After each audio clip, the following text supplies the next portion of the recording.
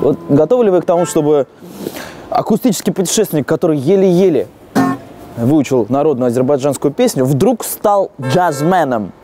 Вот. Кто-то не готов. Вот я тоже не готов. Понимаете, вот этого недостаточно.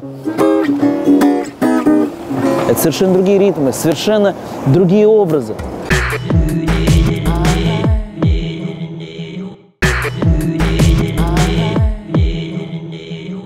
Researching, опросы и, главное, поиски в сети меня привели в местный джаз-клуб.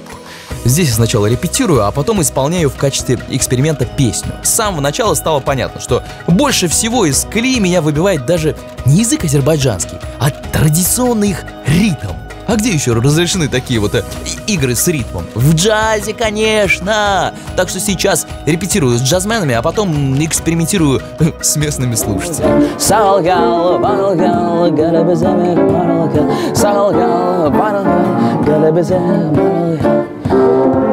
Поняли, и без того сложную азербайджанскую песню мы еще усложнили, сделали из нее джазовую.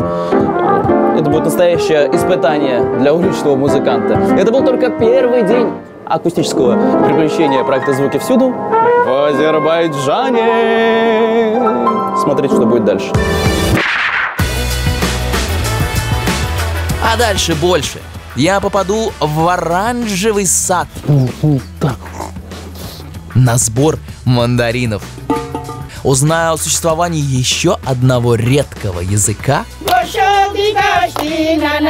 И наконец-то услышу, как поют вулканы и камни.